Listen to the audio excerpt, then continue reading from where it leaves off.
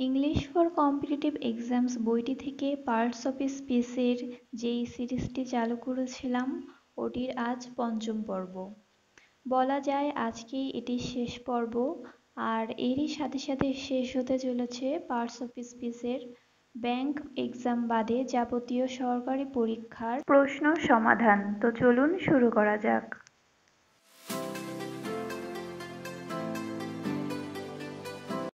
পঁয়তাল্লিশ নম্বরে রয়েছে copying is prohibited in the examination এখানে কপিং এটা কি হবে? তো এখানে জেরান্ড হবে অথবা নাউন হবে, যেটি অপশানে থাকবে ওইটাই দিবেন। এবং জেরান্ড অথবা নাউন হওয়ার শর্তগুলো কি কি, এগুলো আমি আগেও আলোচনা করেছি। এইগুলা কিন্তু পরীক্ষায় বেশি আসতে দেখা যায়, তো একটু মনোযোগ দিয়ে পড়ে নেবেন। He came to office late এখানে লেটে আন্ডারলাইন করা রয়েছে লেট কি হবে? তো লেট হচ্ছে ভার্বের ভার্বকে মডিফাই করেছিল, এজন্য এটি অ্যাডভার্ব হবে। My mother always dresses beautifully এখানে বিউটিফুলি হবে, কেননা my mother always dresses beauty beautify beautiful এগুলো ঠিক হয় না। ভার্বের পরে অ্যাডভার্বই হবে এবং ওটি বিউটিফুললি হবে।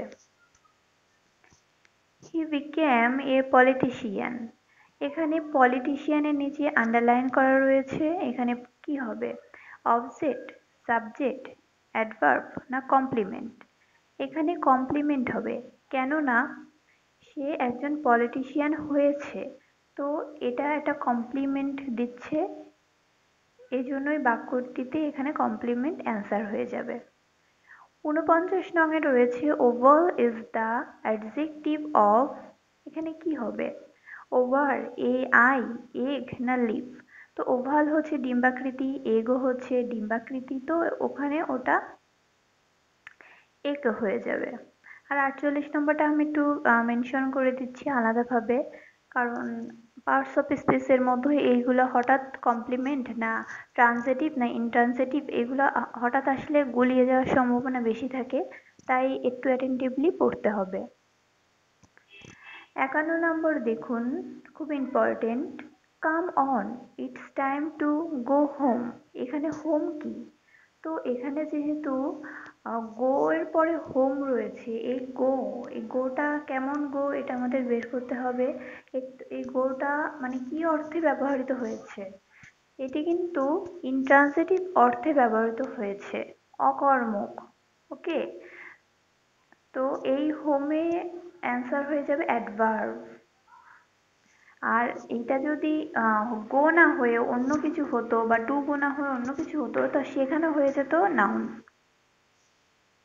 তো বাউন্ন নম্বর রয়েছে। He is taller than I এখানে কনজাংশন রূপে ওটি ব্যবহৃত হবে। তেপ্পান্ন নম্বরে রয়েছে beautiful is an example of কি হবে? অ্যাডজেক্টিভ এটা বলার অপেক্ষা রাখে না। বিউটিফুল মানে সুন্দর, তো দোষগুণ অবস্থা বললেই অ্যাডজেক্টিভ হয়ে যাবে। চুয়ান্ন নম্বর কোনটি? Verb cloth blood food feed তো এইখানে ফিড অর্থ হচ্ছে খাওয়ানো, তো এটি হয়ে যাবে ভার্ব পরেরটি রয়েছে পার্টস অফ স্পিচ কত প্রকার? তো আমরা এখানে পার্টস অফ স্পিচ নিয়ে আলোচনা করছি। আমরা আলোচনার অংশগুলো খুব ভালোভাবে জানলেও হঠাৎ কেউ যদি সে জিজ্ঞাসা করে পার্টস অফ স্পিচ কত প্রকার, আমরা কিন্তু বলতে পারি না। তো জেনে রাখুন পার্টস অফ স্পিচ আট প্রকার। এই সহজ কোশ্চেনগুলোও কিন্তু অনেক সময় চাকরির পরীক্ষায় দিয়ে থাকে। ট্রুথ শব্দটির অ্যাডজেক্টিভ কি হবে? এটি ছিল ছাপ্পান্ন নাম্বার। তো ট্রুথ শব্দটির অ্যাডজেক্টিভ হবে ট্রু।